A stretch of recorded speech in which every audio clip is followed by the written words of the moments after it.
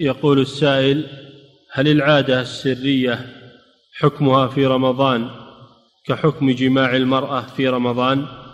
لا ليست كحكم جماع المرأة لكنها محرمة وتفسد الصيام فعليه قضاء الصوم مع التوبة إلى الله عز وجل وليس عليه كفارة لأنها لا تعد جماعا. نعم.